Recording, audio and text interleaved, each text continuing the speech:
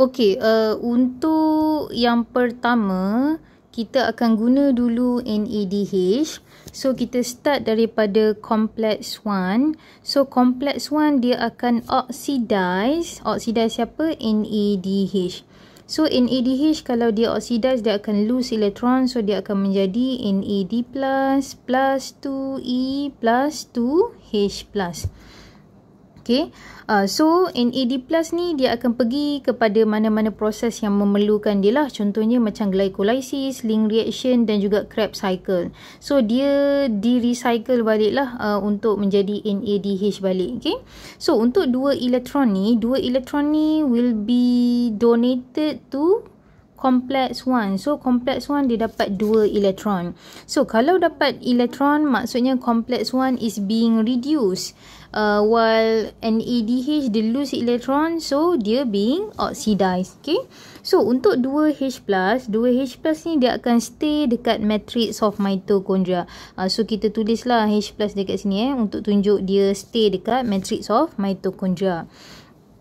Okay, after that adalah complex one dia akan pass elektron kepada CoQ. Okay, uh, so complex one pass elektron kepada CoQ. So complex one bila dia uh, donate elektron, so dia uh, dia lost elektron lah. So dia being oxidized. So CoQ dia dapat elektron daripada complex 1 dia being reduced. Okay. And then CoQ dia akan pass elektron pergi kepada complex 3. Okay. Uh, so dia tak lalu complex 2 lah. Okay. Okay. Seterusnya dekat sini CoQ pula yang oxidized. Complex 2, eh, complex 3 pula yang reduce sebab dia dapat elektron. Okay, after that, complex 3 dia akan pass elektron pergi cytochrome C. And then cytochrome C akan pass elektron pergi complex 4. And last sekali, uh, the final electron acceptor adalah bukan ATP sintes yang sebelah tu tapi final electron acceptor adalah half eh, adalah oxygen. So half oxygen kalau kita tambah dua elektron daripada kompleks 4 ni tadi dan kita tambah dua H plus yang datang daripada matrix of mitochondria kita akan dapat H2O okay Uh, so ingat tak equation of cellular respiration produk daripada cellular respiration antaranya adalah H2O kan? Uh, so ni lah salah satu produknya H2O selain daripada carbon dioxide. Okay so uh, for your information uh, masa uh, elektron tu tengah lalu daripada kompleks 1 pergi CoQ, pergi kompleks 3, pergi cytochrome C, pergi kompleks 4 dan last sekali oksigen, there is energy release. Okay, ada energy yang release masa elektron tu pass daripada satu komponen kepada satu komponen. So, energy yang release ni kita akan guna untuk pump pump siapa? Pump hidrogen ion yang dekat matrix of mitochondria pergi kepada intermembrane space. Okay. So, uh, kita tengok balik komponen of um, uh, electron transport chain. So, siapa saja yang boleh jadi proton pump? Ada tiga. Complex 1, Complex 3, Complex 4. Cuba tengok balik elektron lalu mana tadi? Dia lalu Complex 1, CoQ, complex 3, cytochrome C, complex 4. So maksudnya dia lalu complex 1, 3, 4 which is function dia sebagai proton pump. Okay, uh, so apa yang berlaku adalah uh, masa dia tengah lalu complex 1 sebagai proton pump tu, And then electron transfer kepada CoQ. Saya kata tadi masa electron transfer tu ada energy release kan. Uh, so energy release tu dia akan pump hydrogen ion yang ada dekat matrix of mitochondria ni pergi kepada intermembrane space. Okay boleh faham eh.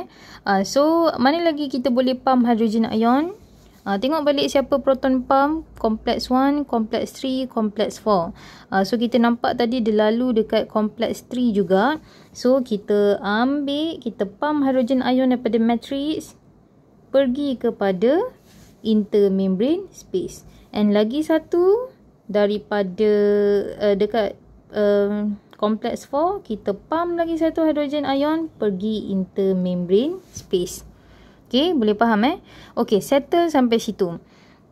Okey, kita tengok pula FADH2. Asyik cakap pasal NADH je kan. Uh, so, kita tengok FADH2. FADH2 ni dia lower energy level. Uh, so, bila lower energy level, dia tak boleh lalu complex 1. Uh, dia macam, seolah-olah macam NADH ni macam VIP lah. So, dia kena lalu pintu utama. Okay. Uh, so, uh, NADH eh. Uh, FADH2 tadi uh, macam rakyat biasa for example. So, dia kena lalu pintu yang lain lah. Uh, yang pintu bukan pintu utama okey? So untuk kes FADH2 FADH2 dia tak boleh lalu kompleks 1 dia kena start daripada kompleks 2 so apa yang berlaku uh, kompleks 2 dia akan oxidize FADH2 jadi FADH2 kalau kena oxidize dengan kompleks 2 dia akan menjadi FAD tambah 2E tambah 2H plus. Once again, H plus tu dia stay je dekat matrix of mitochondria. Dua elektron ni akan donate kepada kompleks 2. Uh, so, kompleks tu bila dia dapat elektron, dia dalam keadaan reduce lah. Okay. And then, kompleks tu dia akan pass ke mana? Uh, jawapannya dia akan pass kepada co-Q. So CoQ dapat 2 elektron. And then CoQ dia akan pass elektron pergi kompleks 3. And then kompleks 3 dia akan pass elektron pergi cytochrome C. And last sekali, cytochrome C akan pass elektron pergi kepada kompleks 4. Dan proses yang sama juga berlaku, final electron acceptor adalah oksigen. Okay? Uh, so, elektron daripada FADH2 tadi, uh, bergabung dengan half oksigen, bergabung dengan 2 H plus yang daripada matrix of mitochondria, kita dapat water molecule. Okay? Uh, so, boleh nampak eh, laluan untuk NADH dengan FADH2 tidak samalah laluan elektron dia. Okay, so kita tengok pathway untuk FADH2 punya elektron, saya kata tadi, masa kita transfer elektron daripada satu komponen kepada satu komponen, there is energy release. Okay? So, energy release is used to pump hydrogen ion ataupun proton daripada matrix pergi kepada intermembrane space. So, kita tengok balik siapa yang bertindak sebagai proton pump. 1, 3, 4. Tapi untuk FADH2, dia lalu tak 1 dia tak lalu kan uh, so kita tak ada pump hydrogen ion lah naik atas uh, kompleks tu boleh pump hydrogen ion tak no kompleks tu bukan proton pump okay? Uh, so and then dia lalu kompleks 3 yes. Dekat sini kita boleh pump satu hydrogen ion daripada matrix of mitochondria naik ke intermembrane space And then dia lalu juga complex 4 untuk elektron daripada FADH2 so dia boleh pump daripada matrix of mitochondria pergi intermembrane space. So, disebabkan berlakunya pumping of uh, proton ataupun hydrogen ion daripada matrix pergi intermembrane space, berlaku accumulation of proton ataupun hydrogen ion yang sangat banyak lah uh, dekat kawasan intermembrane space. So, kita pun lukis lah eh.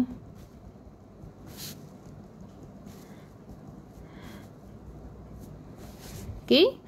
Okay. Disebabkan banyak sangat hydrogen ion dekat kawasan intermembrane space ni, ada satu term yang kita guna untuk menggambarkan higher concentration of proton ataupun hydrogen ion dekat intermembrane space. Okay. Uh, so, nama terms tu adalah proton gradient. Ataupun proton motive force. Okay. Uh, kenapa boleh wujudnya proton gradient ataupun proton motive force? Sebab higher concentration of H plus atau proton dekat intermembrane space compared to matrix of mitochondria. Okey, disebabkan higher hydrogen ion dekat intermembrane space dengan matrix of mitochondria, hydrogen ion tu dia akan uh, flow down concentration gradient okay ataupun down electrochemical gradient. Uh, so dia kena turun balik pergi matrix of mitochondria. So dia nak lalu mana? Uh, dekat sini kita tak guna lagi ATP sintes kan? Uh, so apa yang berlaku is that satu hydrogen ion bila pas lalu ATP sintes dia akan menyebabkan satu ADP ditukarkan kepada ATP. Ha, so, kita kata uh, tambah inorganic phosphate lah. So, dengan kata lain, satu H plus dia boleh menghasilkan satu ATP. Jadi, kalau 10 H plus yang masuk daripada intermembrane space kepada matrix of mitochondria, 10 ATP yang terhasil lah. Ha, so, dia lalu apa tadi? ATP sintes. Okay. Uh, so, cuba tengok balik untuk elektron daripada NADH. Kita nampak elektron daripada NADH dia pump 3 kali hidrogen ion naik atas. 1, 2, 3. So, kalau dia boleh pump 3 H plus naik ke atas, so 3 H plus boleh masuk ke bawah. So, berapa ATP kita boleh hasilkan? 3 ATP. Okay, boleh faham? Sebab tu kita kata satu NADH boleh menghasilkan 3 ATP. Ha, sebab itulah sebab dia boleh pump 3H plus ke atas and then 3H plus tu masuk balik ke matrix dapatlah 3 ATP. Tapi untuk FADH tu untuk FADH2 dia boleh pump 2 saja H pergi intermembrane space. Dengan kata lain 2 H plus saja boleh masuk balik daripada intermembrane space pergi matrix of mitochondria. Uh, so kamu boleh dapat 2 ATP sahaja. Okay? Uh, sebab itulah kita kata satu FADH2 menghasilkan 2 sahaja ATP. Okay? Uh, so habis dah sebenarnya proses of oxidative phosphorylation. So jom kita buat summary. Okey. So, kita tengok betul tak satu glukos boleh menghasilkan 38 ATP? Jom kita calculate. So, daripada substrate level phosphorylation untuk glycolysis, kita tengok balik. 2 ATP. So, kita tulislah dekat sini. 2 ATP. Okey, link reaction ada tak ATP dihasilkan? Tidak ada langsung. So, kosong. Krebs cycle secara substrate level phosphorylation ada dua ATP. Ha, so, kita isilah dekat table ni. So, secara total, ATP yang dihasilkan secara substrate level phosphorylation adalah 4. Okay? Okay, jom kita tengok oxidative phosphorylation. Proses yang kita baru je cakap tadi. Glycolysis. Kita kira berapa NADH dia? Ada dua. Okay. So, 2 NADH.